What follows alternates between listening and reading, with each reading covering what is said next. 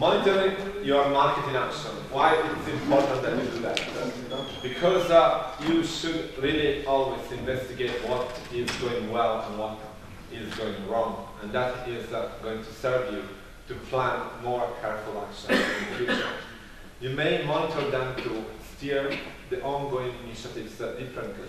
And that's also important. If you have a banner campaign, as I said yesterday, which is not performing well in a country and has been done like that since uh, uh, several weeks, uh, you may decide that you want to shift all your budget to the banner campaign you have in another country.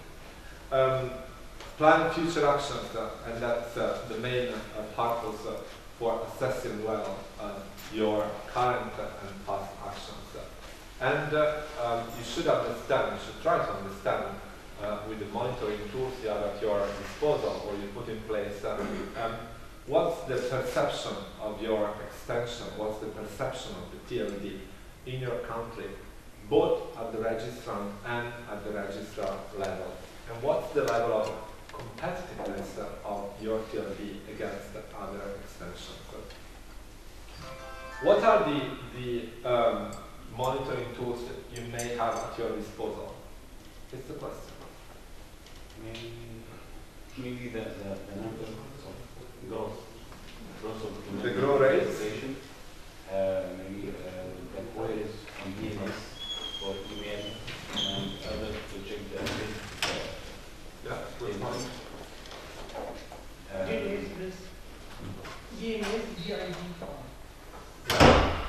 Google Analytics. Google Analytics. Um, Google more. How many how many SMEs use the domain in its marketing campaign? Uh, in our case, we are an export company. Yeah. The domain .eg printed in all and about million caps go goes worldwide. -hmm. So we can support this uh, branding. Yep. Okay, so we have um, we have talked about you know this were uh, really good uh, um, monitoring tools that you have, but you can also go for uh, surveys among your registrar community. Again, they are the gateway to your market. So how do they perceive the top level domain they are selling? Um, you can go, as you said, for statistics and anal analytics and banner campaigns that you have in place or you, you have done in the past. Um, big number of visits uh, on the campaign landing page. And uh, um, currently there are extremely sophisticated tools uh, which can help you to understand where the visit is coming from, not only in terms of the uh, geographical um, uh, perspective, but also in terms of the, the kind of visitor uh, who has visited that specific landing page. Uh, brand or awareness survey, but as I wrote in the slide, pay attention to cost because brand and awareness survey uh, may be incredibly expensive. And one uh, um, um, good advice is to negotiate uh, and try to have several estimates with brand awareness companies in your country uh, because uh, again the price uh, may vary quite significantly. Um, on-site surveys. So if you attend an event, a fair, why don't you have a couple of people going around and ask other people what they think about your top-level domain, your extension. This is a very practical and not so expensive way of understanding how people, how companies perceive your top-level domain extension. The website usage, uh, and this is what we spoke about, is uh, website categorization. How many of your domain names resolve into active websites? I'm going to give you some examples of uh, um, surveys and activities that we have done. The first one being the registrar survey. The registrar survey, we do not uh, only measure the registrar satisfaction against the services that we offer. But there is a first part of the registrar survey that is about uh, the perception of the .eu and how the .eu can be valuable for some customer segments. And uh, in this case, uh, the registrar survey, which you see, is uh, the registrar survey we have conducted in 2013. And we have asked uh, the question, a .eu domain name can be an added value for, and as you can see, um, the registrant, the registrars, the large majority of registrars responding to the survey, say that uh, um, .eu can be added value for any company with the trans-border business. And that is followed by public authorities and SMEs. So in this case, uh, they are telling us uh, that there is a specific uh, group of SMEs, uh, that is those I mean, SMEs uh, that wish to have trans-border uh, markets, uh, trans-border business, uh, which we should target for our campaigns. uh, and they also should target for their campaigns. And, and this is really important to, to have this kind of knowledge, this kind of intelligence, because uh, again, it helps you to define the uh, marketing efforts. We also asked them uh, if .eu domain names are reliable, and uh, as you can see, um, the, the, the, the black part, which was blue in the, in the original slide, is 2013, and the yellow one is uh, um, 2012. What do you mean by? This is not end user, this is registrar stuff. Ah, This is registrar. So uh, this is a registrar survey. So .dot .eu is dot .eu domain reliable. Reliable meaning in the sense of uh, being perceived as a reliable extension for your purposes. And uh, most of the registrars, they say, yeah, I agree that uh, it's a reliable extension. Um, for, for correctness, uh, we have done it, uh, we have requested the survey company with which we work to have the same kind of question with other dots. So we have the responses of other dots, including possibly new GTLDs. And some of them, they are saying that they're totally seen as not reliable. And this is really the bad, bad mark that you have. And to, go from, from being totally unreliable to being reliable, it will take you uh, a long, long time. But then we also try to understand, and this is part of the intelligence that yesterday I said you should gather, how many top-level domains uh, the registrars uh, who have responded to this survey, how many extensions they sell on average. And this survey was answered by uh, 118 registrars, and uh, uh, how many extensions do they manage, do they sell? As you can see, the large majority of our registrars, uh, those registrars who responded, they said they manage above 30 extensions, uh, and uh, 50 out of these 118, so really a large percentage, a large group, they manage over 150 extensions. So you understand when you have this data that you are one out of 150. And all the 150, they would like to have the spotlight with this registrar channel. And that's why it's important to create this circle of trust with your registrars.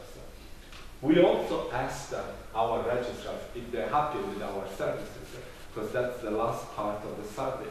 And we have uh, achieved an incredible um, great satisfaction rate of 97% of registrars, uh, survey registrars, uh, who said they are incredibly satisfied with our services, with the way we are dealing with them, with the way we are providing services uh, to them.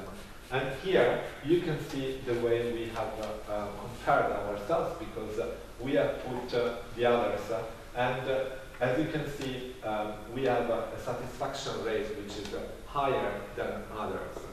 And uh, we have also, and I'm not going to show the next uh, um, slides of this survey, but we have investigated why they were happier.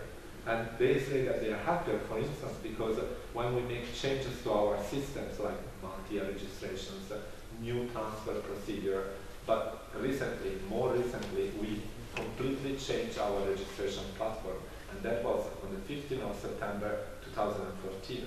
And what happened is that we have communicated that we were going to move to a completely new registration platform November the year before. So in November 2013, we said, warning, we have decided that on 15 September 2014, we switch to a new registration platform, meaning that for two entire days, which were the 12 and the 13, no operation, no new registration, nothing was possible on our domain names. The database was frozen to be moved to the new registration platform.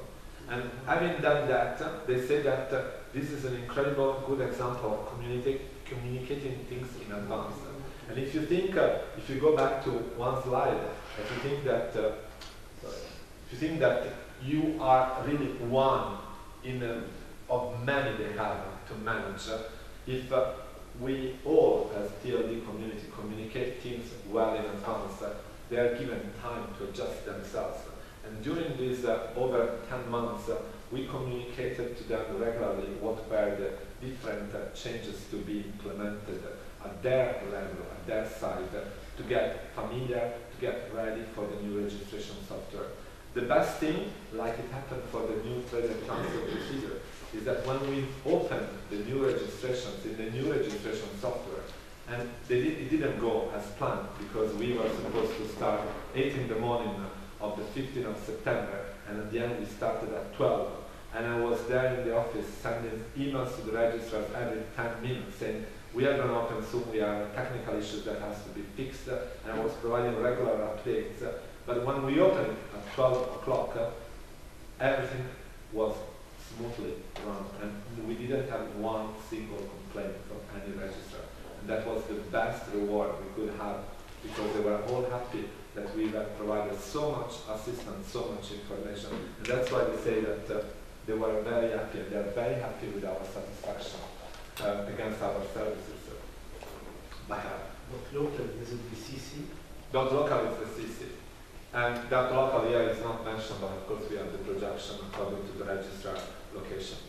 Right. And then- what are the numbers in the squares, like plus two and plus one and minus? Was plus two against last year, against the previous year. So it was 2013 uh, was uh, um, in 2013 was 95, in 2000 and, uh, in 2012 was 95, in 2013 is uh, uh, 97.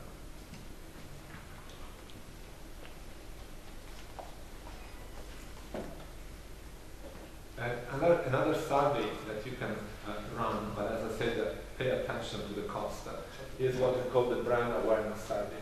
And this is done, what we have done is on a sample of people across Europe. And in this case, there were 15,000 companies and people, individuals, who were surveyed about the way they perceive the .eu, the extension. And they were first of all explained what .eu is, they were explained what top-level domains is, they were um, usually people with a certain familiarity of the internet, people who have a domain name, people who use the internet on a daily basis. As you can see, um, the, um, in our case, the company invited us to have this uh, kind of uh, diagram uh, showing different kind of perception of people and companies against us, against .eu. And as you can see, uh, the .eu has been seen as very innovative, consensus, and consensus meaning that uh, you know, uh, seen as a stable, uh, reasonable, trustworthy extension. This is, uh, you know, people how they uh, compare themselves against how they, they feel uh, when you, they see uh, a website with a .eu extension. And uh, we were quite happy to be seen as innovative, and in, in, indeed it's innovative because um, we are one of the latecomers in the market. And the brand survey also revealed to us that uh, because of uh, being a late um, comer in the market, uh, and this is the, should be the European Union flag, uh, um, we are in this uh, um, quadrant, which is a quadrant of uh, regis- registries uh, whose uh, TLD has uh, still low awareness and low adoption. And that's because, again, we are not as popular as others. And those very, very popular are um, the Netherlands and Denmark. And Bulgaria is there because in Bulgaria, um, there was, um, several years ago, an incredibly, at the time this uh, survey was developed, an incredibly huge campaign for Bulgarian domain names. That's why there is a quite high level of uh, uh, adoption and also especially awareness of uh, the local um, top-level domain. And it's another example, and this is what we talked about, that's why I'm, I'm going a bit faster, is uh, the use of that .eu. And we have said that we are doing this website categorization. And the website ca- categorization, uh, uh, what we are doing is we are doing the website ca- categorization not only for our um, um, domain names and the websites that uh, from our domain names, but also we take samples from the zone file, so we have agreements with VeriSign for .com and .net to take sample of domain names from their website, their, their zone file, and, and check how they resolve and which kind of websites they resolve. And in our case, uh, the .eu is uh, the, the blue one, so is, is the, first bar of each of these bar groups. As you can see that uh, there is a good percentage on this page, but there is also a good percentage resolving to business websites. There's also a good percentage that is resolving to error. Not so much pay-per-click.com is more pay-per-click because there is a, a sort of a, um, philosophy of pay-per-click by um, many registrars for .com domain names. Personal, we are not personal domain name. We are not personal extension name. Personal, as you can see, is more .org. And in personal, it includes also the category of community, being a, a, a community top-level domain. Institutional, institutional again, um, if you see that the .eu and the .org, they are those performing better. So it's very unlikely that uh, an institution, a public body, has a .com. It's more likely that it has, uh, in our case, a .eu or a .org. And .org has been, um, by definition, the um, institution or academic um, dot. And uh, um, this was uh, a very special category, which was the porn category, uh, to try to see if uh, there were you know, certain kind of content associated with us. But we were uh, impressed with looking at the fact that in all the extensions we have this exercise, the, the number of these kind of sites is incredibly low. And if we look at uh, uh, an infographic, uh, you can see that in terms of um, being more business oriented, the more business oriented extensions, according to this manual categorization, are um, .com, .biz, .pro, .eu. And if you go to the community interpreting this info infographic, the .org is more used for community websites. And, and also there you can see the evolution because we have been doing this exercise since 2010. Now you can see that uh, there's been a, a, growing number of websites uh, that have been uh, uh turning into uh, business uh, and also um, pages, which again um, the big difference is when you click on the websites and you can see an landing page and two minutes later it turns to be a business website. That's uh, uh, the importance. But the, um, the most, uh, let's say, important thing is that with this exercise, we found out that 57% of our domain names were not having any website with content associated, against 43% with content associated. So again, those are some uh, examples of uh, monitoring and assessing tools you can have in place uh, to help you to define, to help you to design uh, your marketing campaigns. And, and let's say that uh, um, at the end, um, these kind of uh, exercises must be run regularly. The important thing is that you run it regularly to make metrics, to create metrics against which you compare uh, the results. And uh, again, you have to acknowledge that there is always something in what you're going to do that is not possible to measure because it's marketing. Because anything that is related to marketing awareness in some cases is incredibly difficult to measure because there are so many emotional factors and all the emotional factors are very rarely possibly uh, to, uh, possible to, to measure that influence uh, some decisions in the mind of the consumers. I'm going to show you some marketing options which we have experienced. Um, and you have so many marketing options. When I started at .eu in 2007, making campaigns online with banners was not much used. But it's not that it was not much used by us, a registry operating in the internet. It was not much used by anybody. And if you look at uh, the homepage of the most popular um, newspaper in your country, and you look at that web page, uh, if they had it uh, in 2005, 2006, uh, and you look at the web page now, you can see the quantity of banners that are there now. It's uh, millions of times higher than the quantity of banners which were there 10 years ago. And this is, shows to you that really the online marketing has grown exponentially in the past decade. But you still have a lot of opportunities when you think about how to market your product, how to market your top level domain. You can go for the standard printed option. You can go for online bannering. You can do it via social media because social media are also a powerful tool to be used. You can have a campaign. Um, recently, there is a big competition between campaigns run by the so-called Google Display uh, network and the Facebook network. And they are both equally, equally uh, valuable because they both allow you to reach the customer segment you really like. Um, and we'll speak about that.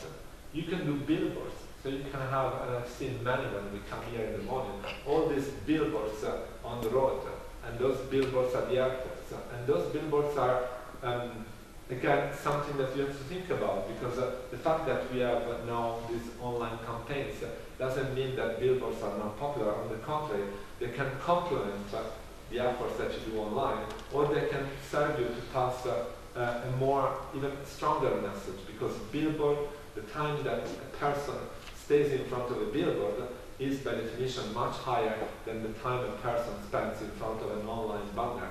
And because especially some of these online banners, they are rotating, so the time available for some end user to pick up that banner, your banner, is incredibly lower than a billboard. A billboard stay there for a long, long time. And the, the key message when you decide to go for a billboard, the key, um, let's say, uh, advice is to keep the billboard there for a long time, minimum three years. And minimum three years generate a lot of confidence uh, in the people about the billboard. You can change the visual in the billboard, but just try to use the same billboard, the same position on a highway, in an airport uh, for at least three years because it really generates a lot of awareness.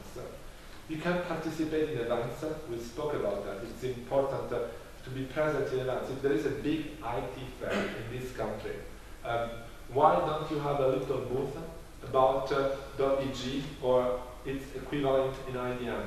And you speak to an IT community, and they might not know you, but you have the chance to engage with them. Some of them they may become registrars, some of them they may become users, registrants, and it's really a good opportunity.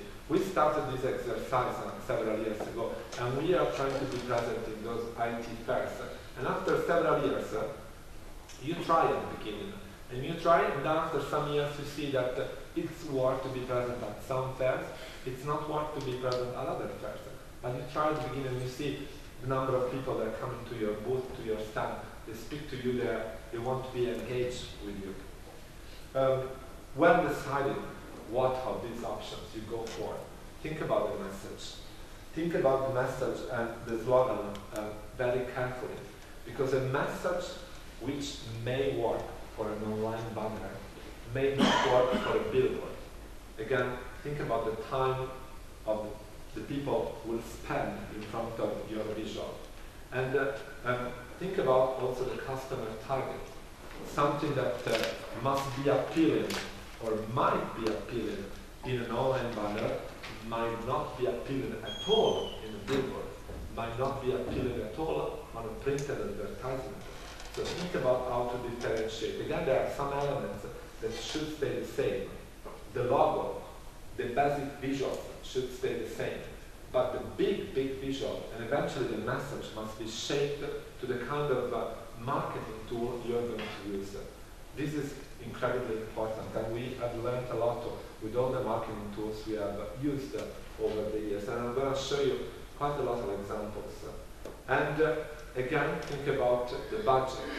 Because if you have like a fifty thousand dollars budget, is it better to go for three years billboard in a, the main airport of your country and complement the main billboard in that airport with a yearly uh, display campaign? Or is it better to have uh, 40,000 invested in display campaigns and 10,000 in a billboard for three months? Think about how to invest the marketing resources you might have in the long term, not just something that it lasts for six months and then you change the strategy completely. This is, should be really a careful strategy you spread over several years because that's what also marketing is about. I'm several kind of which we have developed uh, over the years. Uh, and now to come back to you with a question. So this one is uh, uh, what we do twice a year. So twice a year we run a campaign, a banner campaign via the Google Display Network. The Google Display Network is a, a, a huge network.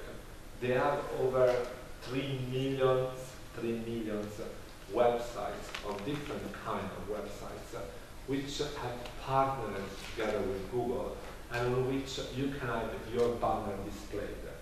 The advantage of the Google um, network, uh, like Facebook, uh, is that if you tell to the Google account manager uh, with whom you will be put in touch, if you tell them, I would like to reach students of university aged between 19 and 21, the sophistication they have for their analytics uh, to make sure that when a student between 19 and 21 years old gets to one of these pages of one of the websites that are having an agreement with the Google Display Network and are shown your banner is almost 100%.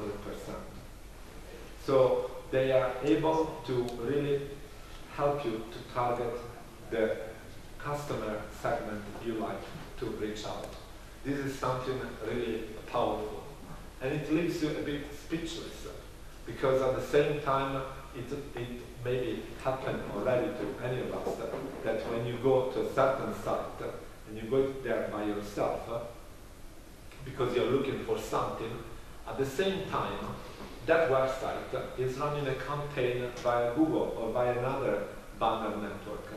And what happens is that then you stop, you have found the information, but then when you go back to uh, another site, which is completely different, uh, a banner pop-ups uh, with the message from that previous site you looked for, because the website is promoting, it's a company promoting some products.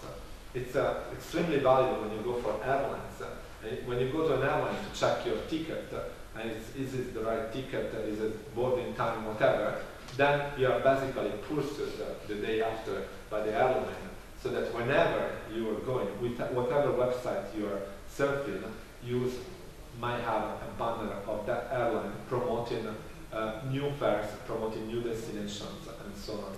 So this is uh, something that is all linked uh, to the way we are tracked when we surf the internet. And the Google Display Network is such a, an in-depth network that helps you really to target your customer segment. We are, we are doing that uh, twice a year in selected European countries because you need to have a good budget.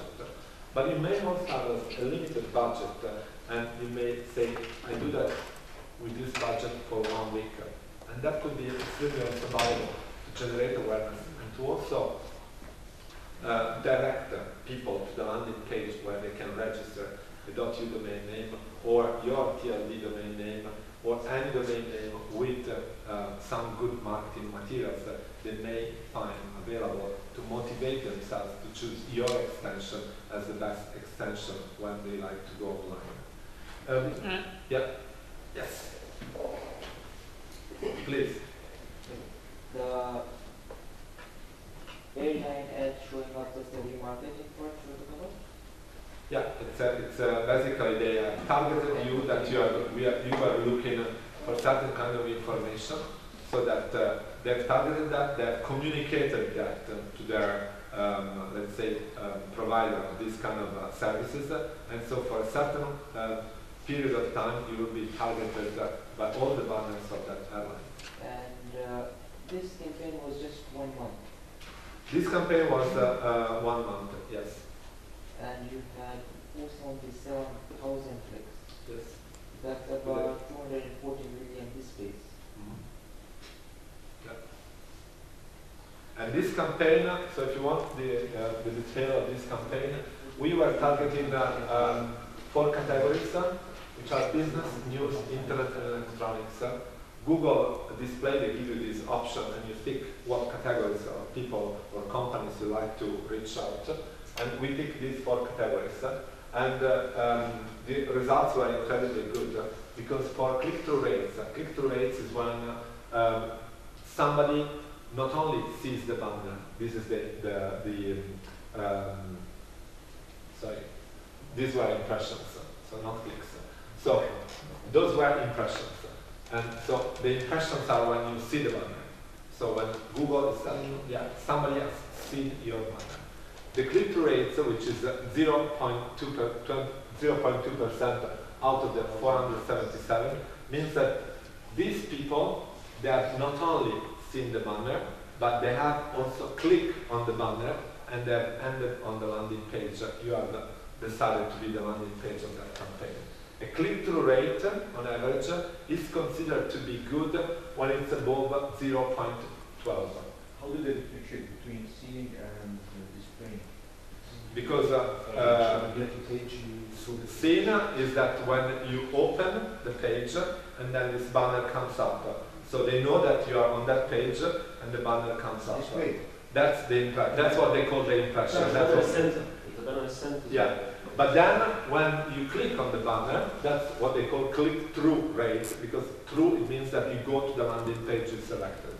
And again, a, a, a good average at uh, worldwide level is considered to be anything that is above 0.12%. So- campaign, how much it cost?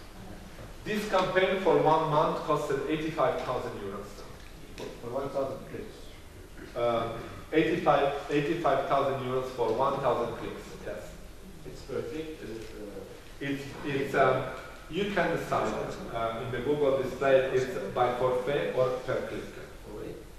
Uh, It's a forfait, it's a lump sum amount, so it's just one amount, they say, you got this, or you can tell them, I pay at the end on the basis of the number of clicks. Are you sure that these are the right Yeah.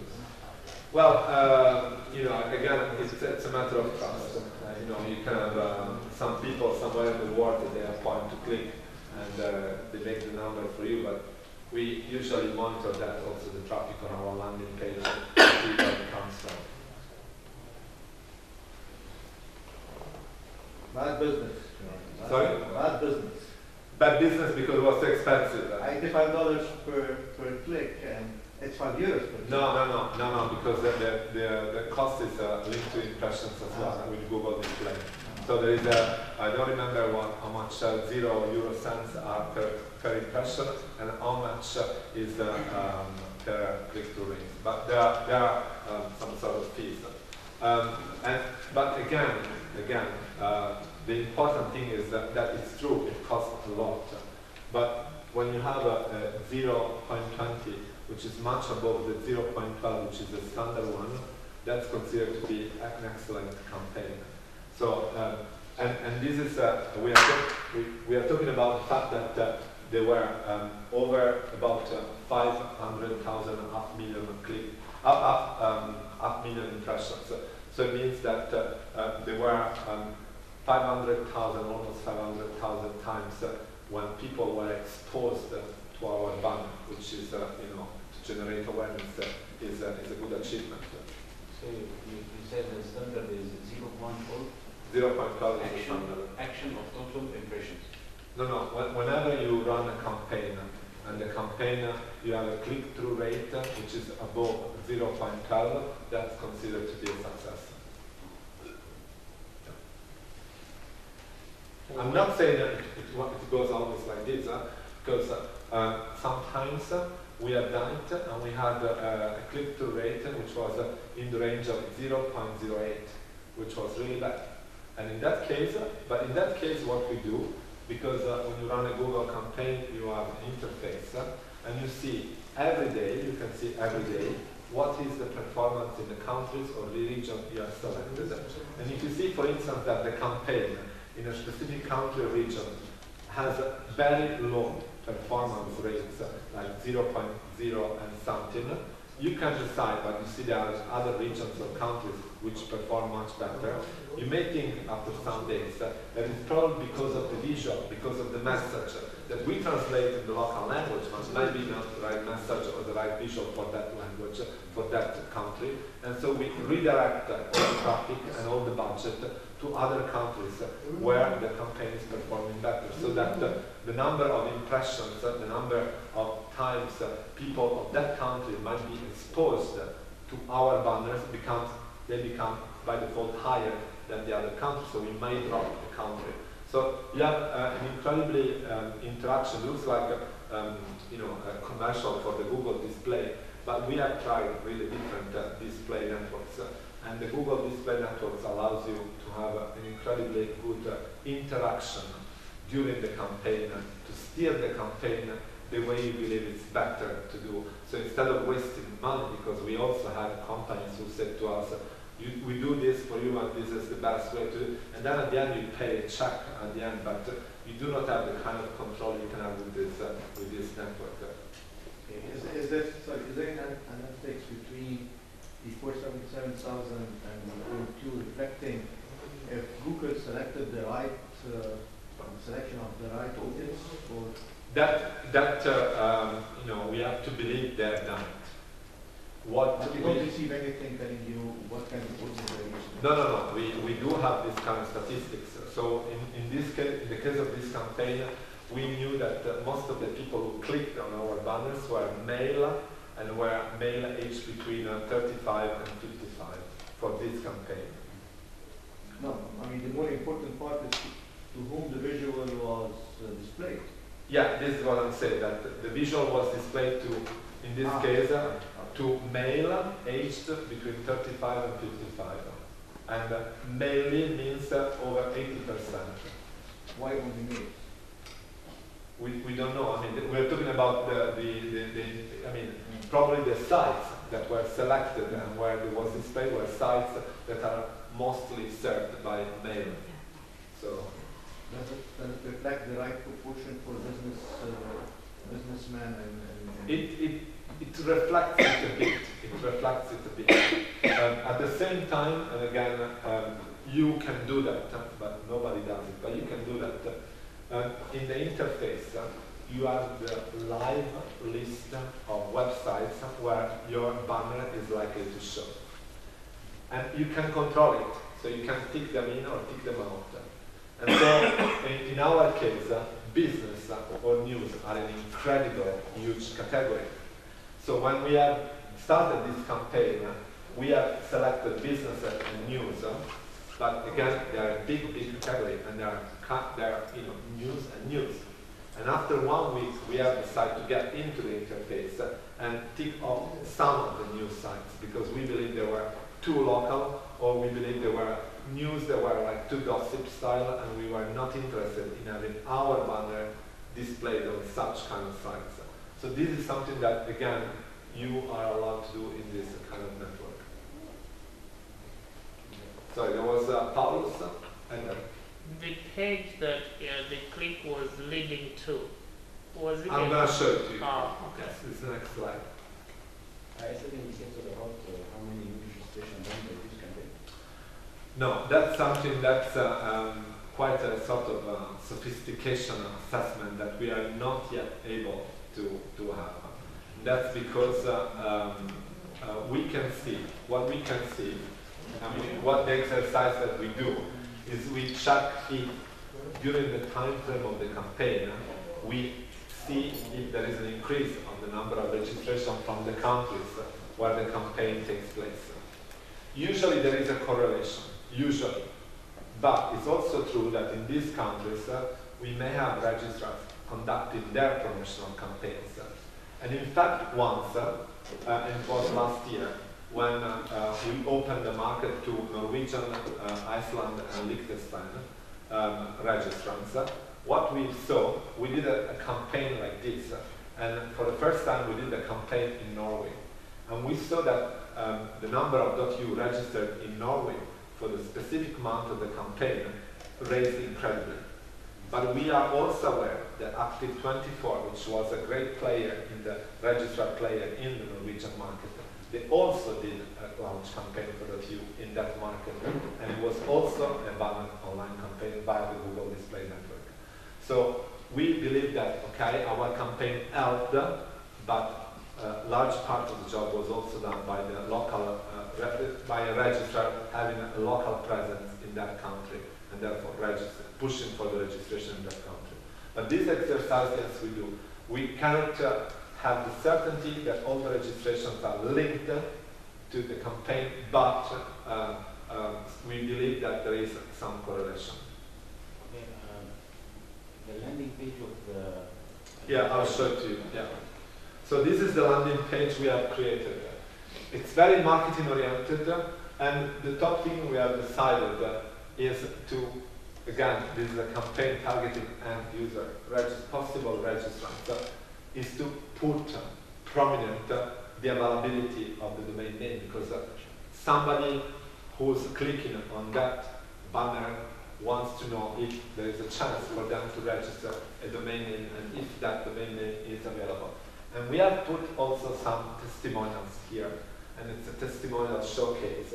And In this case, we have played with uh, two big companies uh, um, which have embraced .eu as their uh, main website, and also with Flavia Pennetta. And Flavia Pennetta is a, um, a, a tennis player, number 11 in the WTA ranking, and she has been also using her .eu site and very actively, and therefore we decided, uh, and that's uh, an example I'm going to give you, to sponsor her, sponsor her when she participates in tournaments. Uh, she's wearing uh, uh, the EURid uh, or .eu patch uh, on her uh, suit, and that has been incredibly popular. Again, uh, if you think that she recently played uh, in the Miami um, WTA uh, tournament, the Miami WTA tournament on TV, the matches she was playing were watched at worldwide level by over 70 million uh, audience. That's really incredible. So 70 million people were exposed to our logo. They were exposed um, to somebody wearing uh, our logos. And again, this is something that we can do at local level because sport always attracts a lot of people and generates a lot of awareness. So this was the landing page we use, and this is the landing page we use for most of our marketing campaigns. There is another uh, exercise we have done. Is sorry. The landing page with the, uh, if I if we uh, we check the availability.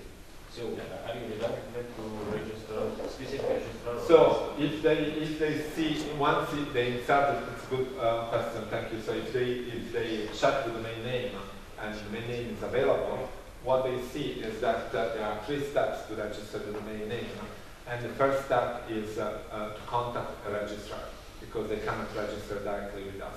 Contact the registrar. What they have uh, is immediately, based on the IP addresses, immediately they have the list of the registrar from the country of the IP address, which cannot, which might not be the country of the person who's uh, looking for the domain name because, uh, of course, depends how the IP addresses are redirected and directed.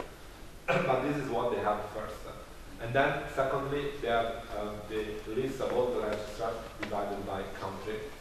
So this is what they have uh, once they have checked if the domain name is available.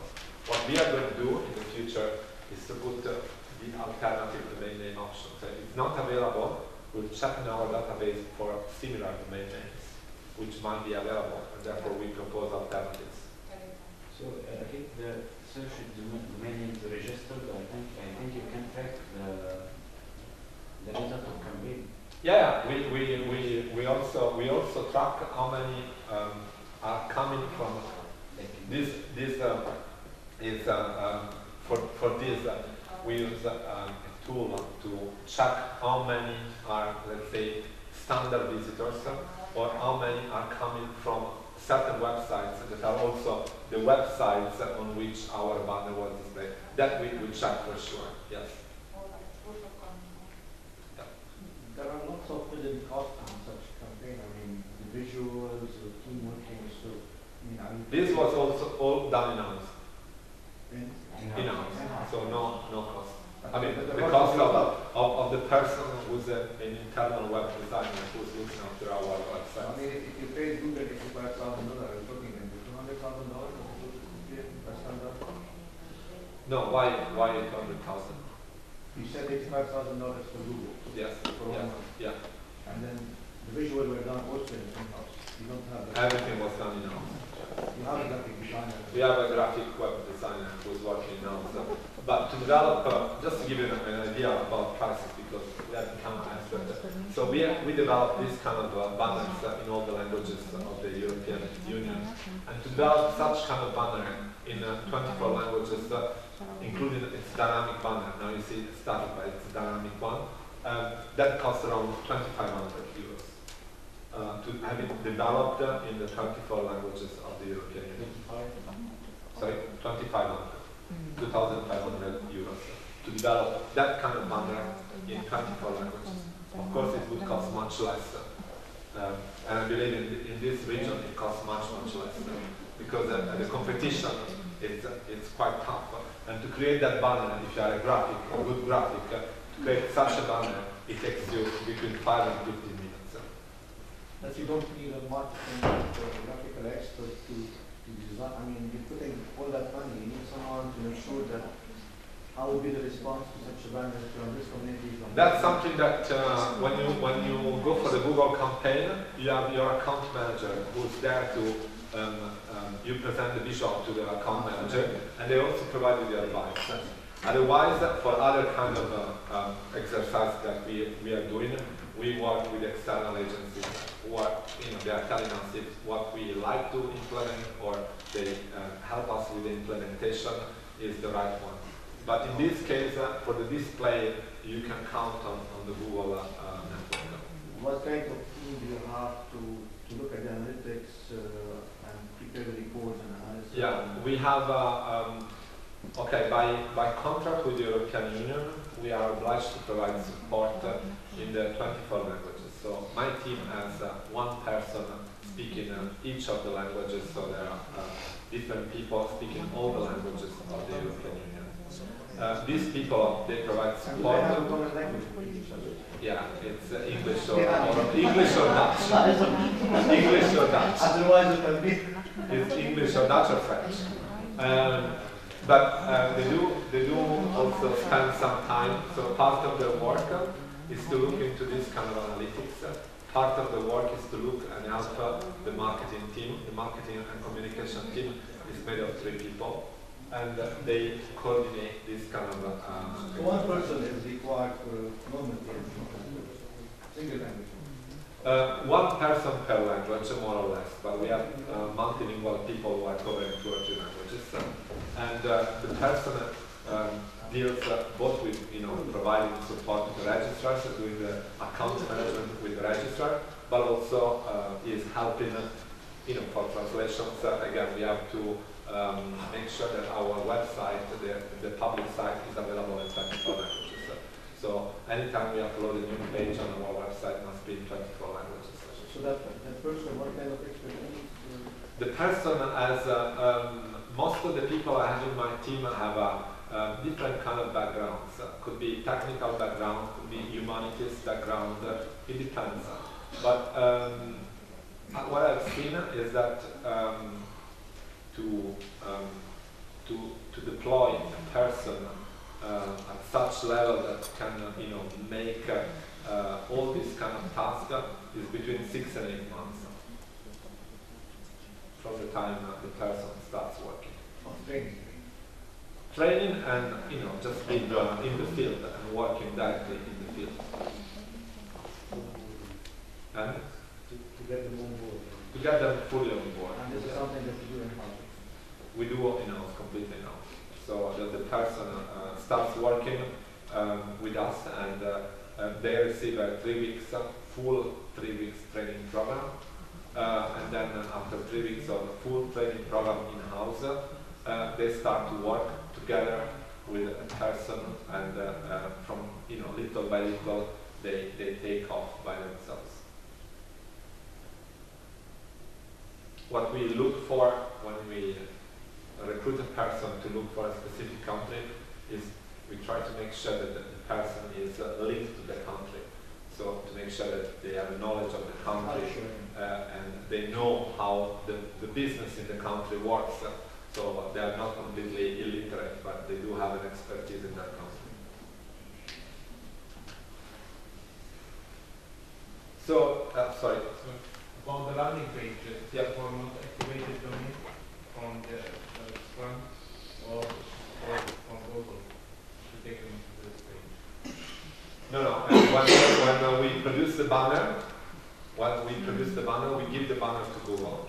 And we give the banner to Google and we tell Google that this is the landing page in English and this is available in the 24 languages as well. So that banner is in English, it goes to this page. Then we give the banner in Bulgarian, it goes to the Bulgarian version of this page. So we tell Google to make the match and they do, they do make the match.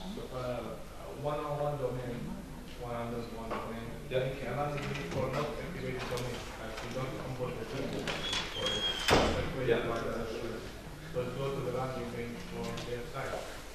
Yeah, that, that's something, so that, that uh, just for the others, so, so we're talking about one-on-one, eins and eins, uh, and they are uh, probably the biggest, one of the biggest, uh, two biggest uh, German registrar players. uh, and what they do is that when you register a domain name with them, uh, and you do not immediately have a website, uh, they provide you with a sort of uh, temporary page. Uh, this has been quietly criticized, I must say, by some others, uh, because in this landing page uh, that you see, you see uh, like commercial for uh, Eins and. And you know, uh, some customers of uh, Eins and Eins said to us that they were not so happy to have this with them. And of course we said to them, there was the choice of that register, you may change your register. But this is something that uh, indeed uh, they are doing. So how technically they do that? They, I, I don't know, I don't know um, how much time they wait for doing that. I believe it's done immediately uh, when the domain name becomes active. So the domain name becomes active until the moment they have their own website, uh, they have uh, uh, this uh, temporary landing page. But is the gap between the registrar and the registrar. Here we're talking about our uh, landing page.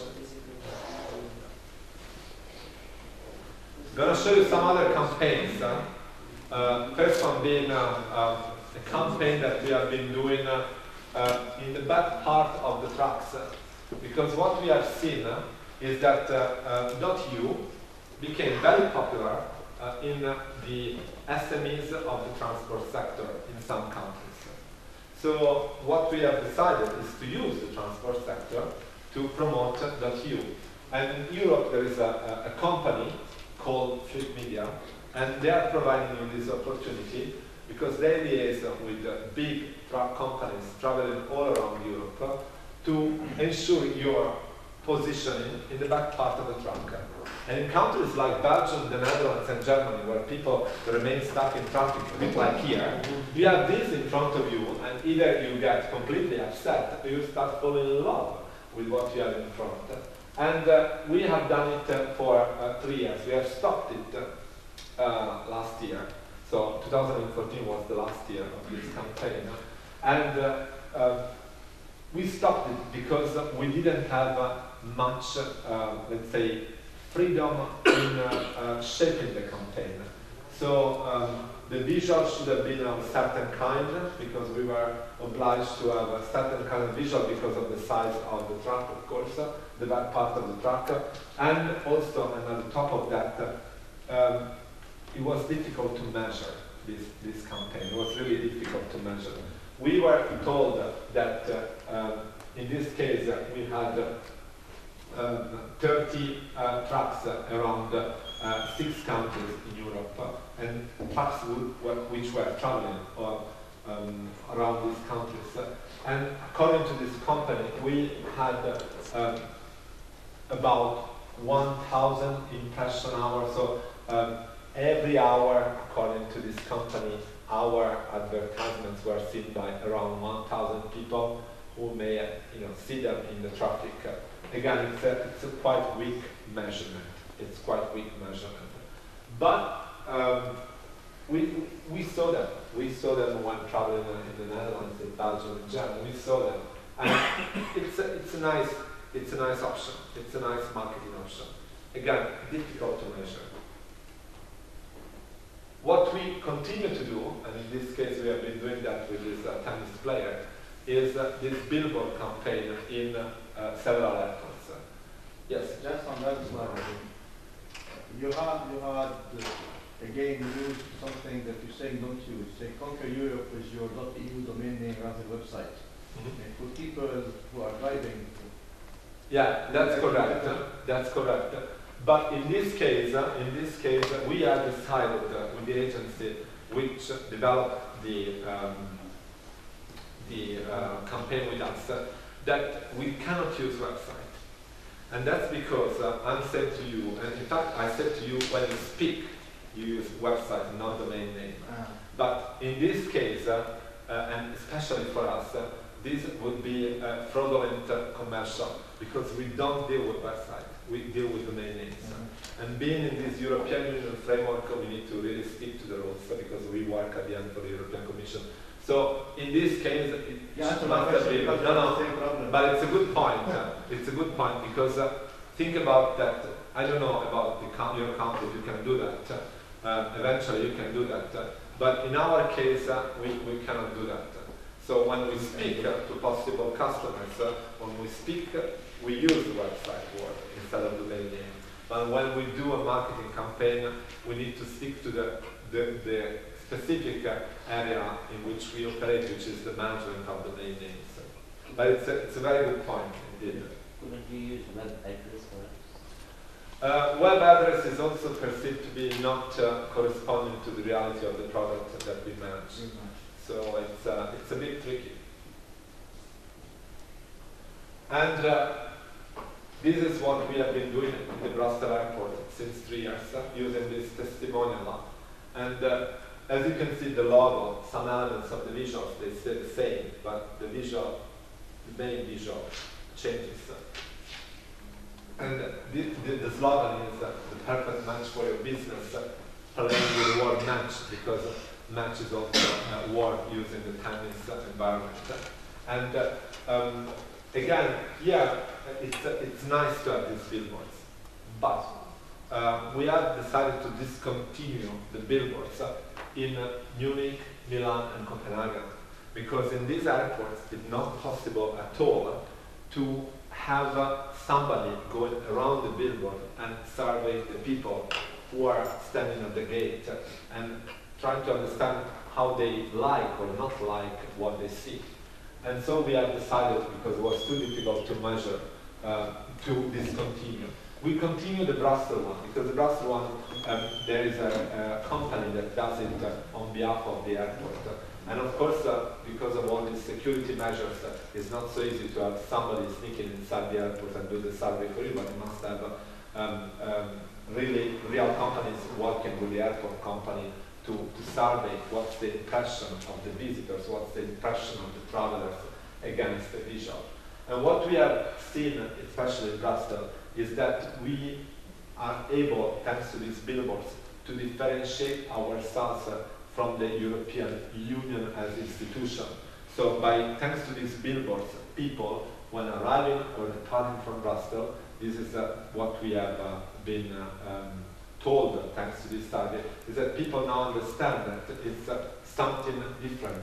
So it's something still linked to the European Union, but it's something at the same time different. So there is a different image, different perception of this is uh, uh, as a top-level domain of Europe and not of the European Union. And this was at the end the message we wanted to give with this kind of uh, billboard. You seem to be targeting hostage audience. I mean, Hostage. I mean, they are. I mean, somebody. Because stuck in hostage. plastic, I mean, somebody's targeting. I mean, hostage. No, hostage. I mean, hostage. Exactly what I've never heard that, but it's a nice definition. We, we like to think differently. We like to think that uh, we target uh, the audience, uh, which is uh, professionals uh, or SMEs, uh, more business oriented, because at the end uh, we selected those airports because they are more business oriented than others. And so that's why we have, uh, and we also, it's not, uh, you know, behind this billboard, uh, there is a, uh, quite a lot of reasoning because it's not only business oriented or uh, SMEs, uh, but also the choice of the gate in this case makes a difference. uh, because when you liaise with an airport, uh, you know by definition there are some gates that are more used by charter flights uh, um, which go to holiday destination and there are more business oriented gates. And this is the choice we have made also when we decided to go for the campaigns. So for each airport we have selected a specific gate because we had all the flight timetables, all the flights uh, leaving and arriving at those gates uh, um, in a month. So we say, okay, let's go for that gate. And because we knew that on those flights there were more business-oriented people than other gates, other flights. So it's really quite a complex process. And that was not actually, I mean, I'm, I'm using the terminology because I No, know that's- that that's- another, another boss that uses it. I mean, for example, the magazines, the magazine. The in-flight magazine. that, they're your hostage. huh? They're your hostage. No, no, I didn't mean that. I mean, They they are, mean the, the voting class. No, the, the, this is something that we have, uh, and this is something, it's a nice reasoning that we have done, I'd like to share it with you, is uh, uh, that, uh, you know, you are at some point proposed by these agencies um, to have your logo or your message on a boarding pass, or on a, on a, on a plastic cup, or on, on tissue. But then um, you have always to think that all these things uh, normally ends into the garbage. And at some point you may see your logo and a lot of your logos, a lot of your these things uh, which are branded with your logo in the garbage, and that's not nice. So we have decided not to go for these things that um, have a, a lifetime which is very short, and therefore they end into the disposal, garbage, or whatever um, soon. So we have decided not to not to go for it. But there are companies who are doing that. There are companies you get a mug, you get uh, a tissue, and there is uh, uh, the logo of that company. We prefer not to do that. I think in branding, uh, branding David, maybe, uh, It's a trade-off, it's a trade-off. It's a, it's a, it's, it's, a, it's, a, it's a your decision. I mean, we have decided because of that we wouldn't have liked to go that far. So, but again, it's a, it's a decision. Uh, another decision, it's uh, like uh, you decide uh, the cost of one of these billboards is like the cost of painting an aircraft with your logo. So it's not much. And you can have the aircraft painted with your logo, with your slogan for a while. But you see the contract because we have gone through that as well. You see the contract and you see that uh, if the airplane crashes, if the airplane crashes, uh, any of the European companies, airlines, they have a company specialized in being on the crash site in two hours, wherever in Europe, and they cover completely your logo. But, as I said to them, that would have been nice in the 18th century, but now we are in 2015, and by the time in these two hours, there are so many tweets, and so many Facebook posts, and so many pictures posted of our logo crashed with the plane. that, sorry, I don't like so, but we receive this proposal from various agencies every month, even recently after what happened in Europe. But we keep receiving that, and we say, I say always no, because I know that no matter how good this company is, your logo crashed will be seen. so, no way, sorry, non-negotiable with me.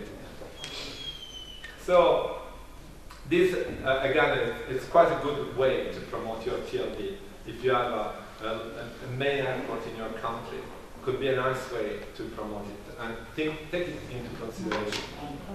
Um, this is the kind of uh, uh, analytics we have when we evaluate our landing page.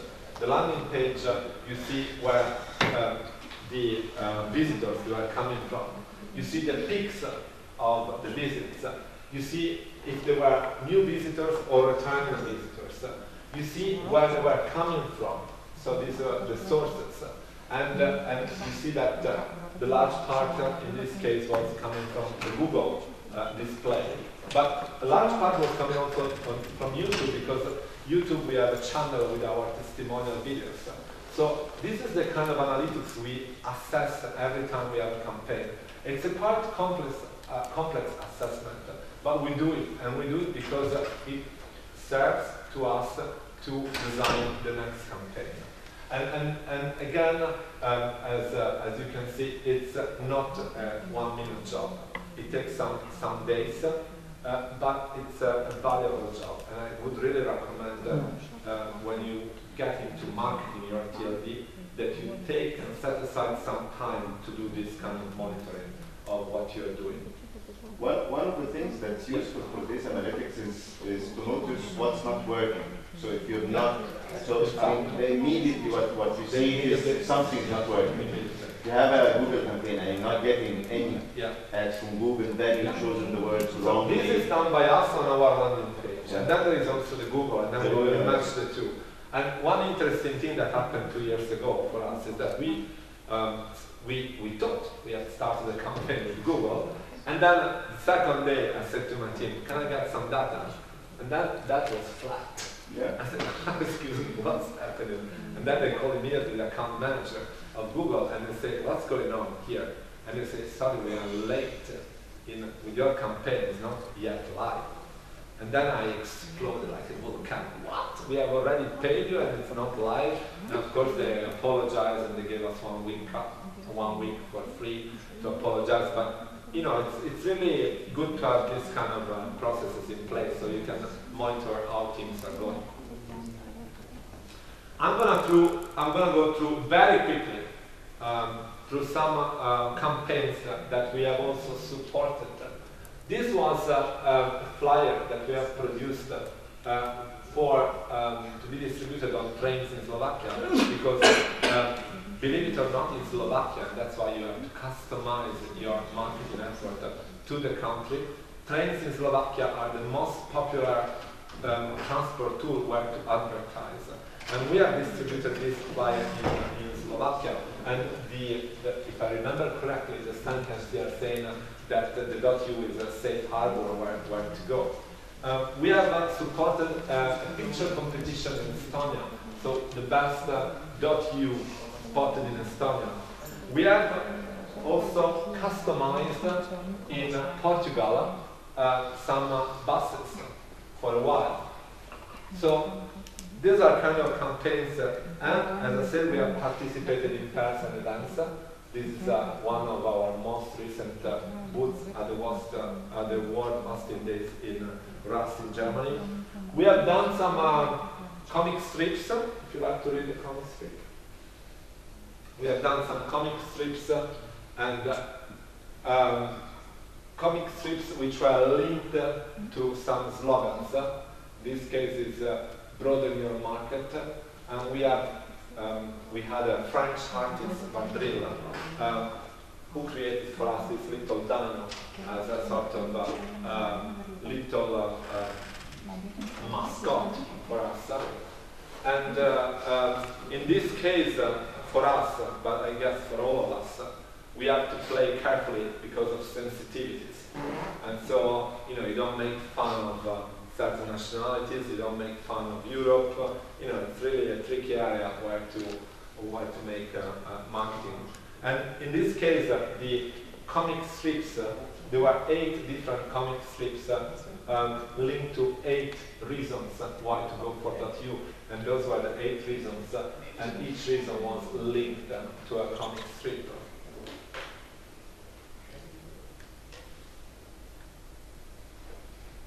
We are catching up very well. What is equal quality? Sorry? Equal quality.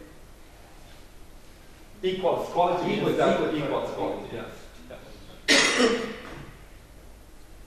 We have also sponsored, and this is a nice and almost at no cost exercise.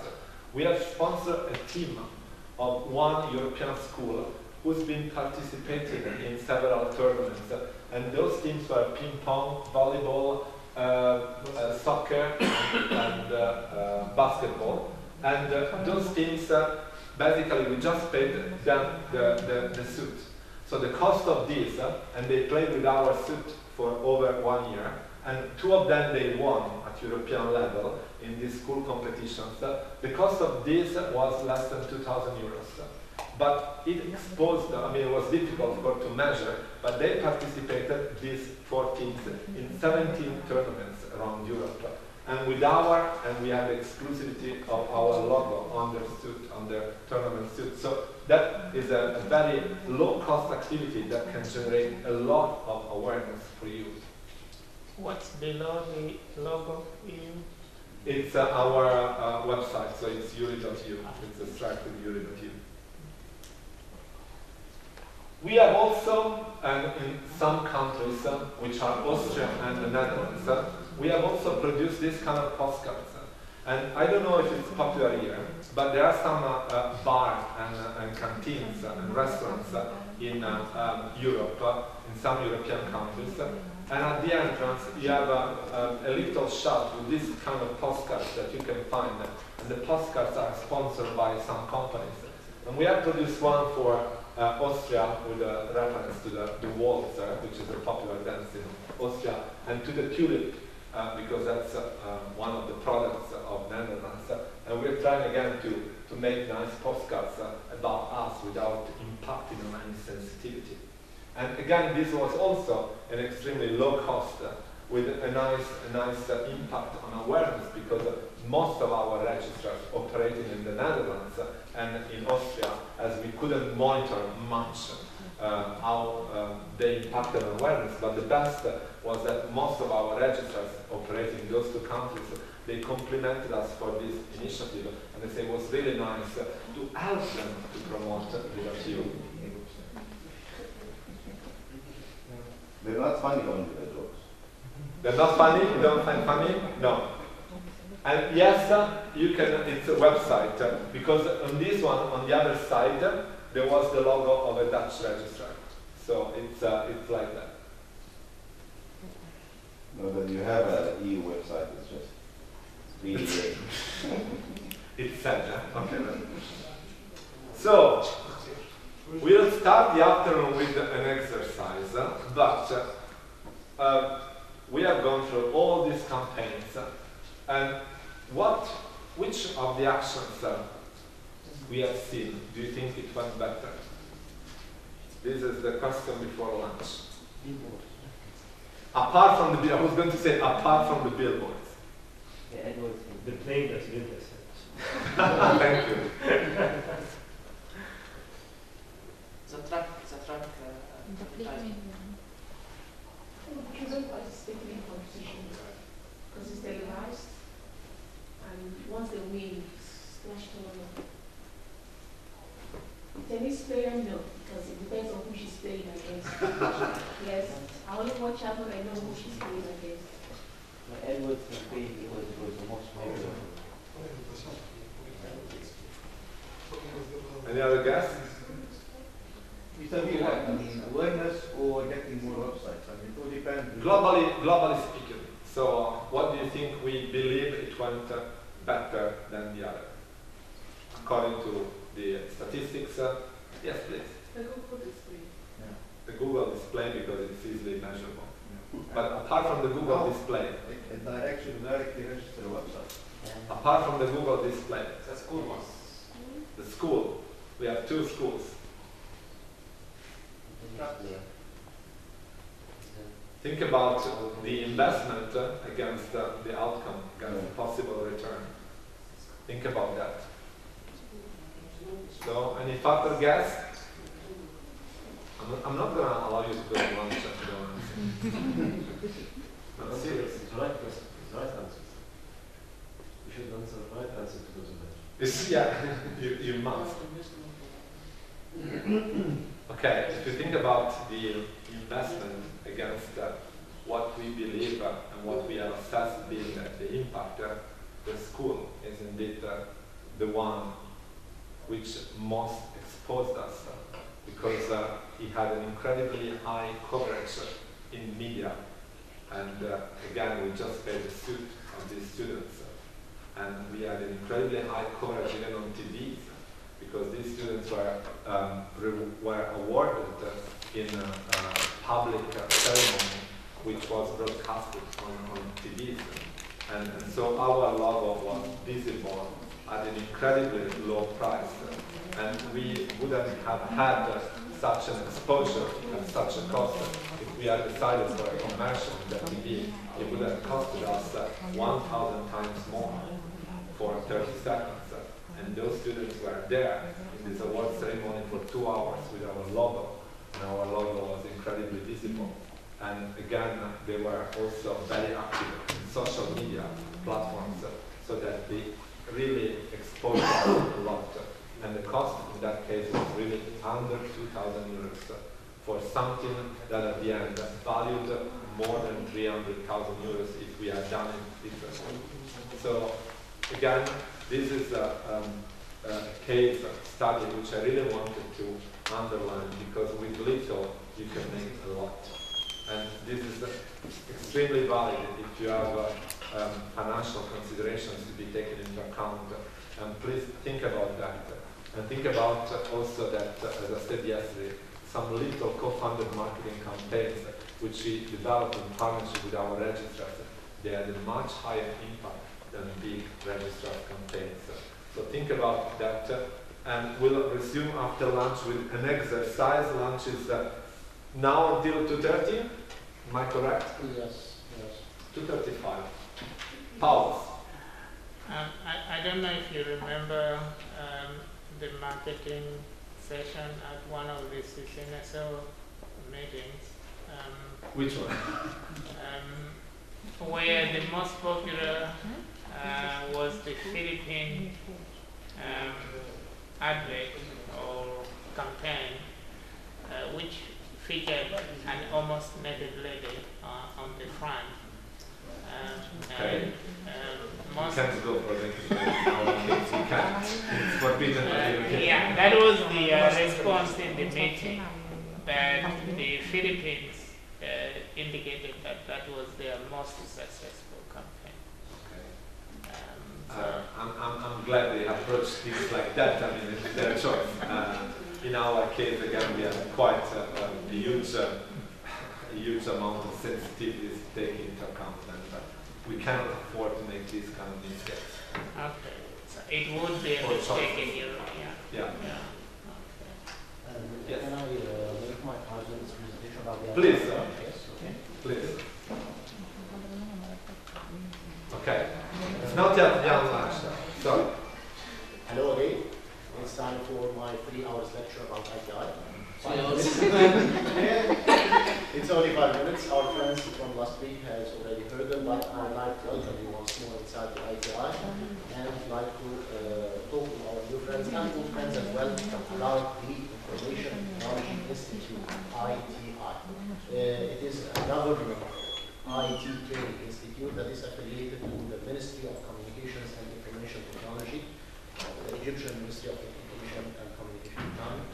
Uh, uh, ITI has been established since 1993. It's now more than 20 years old. It, the main three training programs that ITI presents are the following. The one, the first one is nine months long, and it is specialized for the Egyptian university graduates from the uh, IT or engineering background. The second one is for the Egyptian university students during the study in, in, in the uh, universities to be specialized in the BPO or the business process outsourcing industry or to join the call center industry and other industries related to BPO. The third one is training of the trainer or TOT or TTT if you like to call it uh, to train the IT trainers on the different specializations of IT. Let's go to the first one once again that I'm proud to be one of the graduates and as, as well as Haitham, as well as uh, Adil. Who else? No one? Okay. So uh, it covers the bandwidth. Uh, uh, really, right? You are one of the graduates. Very proud of this. No, now. Uh, the ITI or the nine-month program is um, covers all the bandwidth of the IT specializations regarding uh, networks, security, uh, mobile gaming, mobile development, uh, web development. Uh, we uh, received the graduates from the Egyptian students, train them inside ITI for nine months to join the IT professional market. The second statement that I would like to say is that we love Africa. We love Africa. We love to cooperate with the African countries. We uh, had successful stories with Uganda, and we made something called e-Uganda that is similar to e-Egypt to help the uh, friends from Uganda to establish the BPO industry and uh, have call center to establish there and enter this market. We have a very successful story with our friends from Djibouti. They are uh, uh, also uh, and Djibouti Telecom. Uh, they also have received training and uh, received some knowledge transfer from the ITI. All our cooperations with Africa, all other than Africa, is bi-directional. We all learn from each other. We try to transfer our 20 years or more training knowledge to the African countries to help them. Once more, remember that we are governmental, so non-profit, so we are not seeking any money, but we are seeking help to the African. Regarding content developers, and we are so eager to uh, cooperate with uh, trainers from Europe, experts from Europe in the domain of IT, content developers institutes, to uh, be able to deliver uh, the up-to-date and the, the top-notch technology inside the ITI. So regarding cooperation with African and Arab countries, Yes? uh, our countries also as well, yes. okay, uh, means that um, uh, African and Arab students could come here to, to Cairo to have nine months uh, courses, or you send your trainers for, for African and Arab countries? Both are available. Uh, Arab and African students can come here, but not to join the nine months specifically, but to join a tailored or customized course that can be customized upon signing an agreement with the African country. Also, our trainers, and I, my colleagues in ITI, has visited Africa more than Abuteka himself, so they can go to any African country and train and deliver the knowledge to any uh, to any uh, African country, also upon signing an agreement or upon they asking the official uh, demand from this. So all courses are listed on your website, iti.net.eg. Yes, this is the most important thing. I want the team to. ITI. Dot gov to prove that we are governmental. So you don't, don't have an advanced radar? They asking today, uh, they asking today, It's an extra.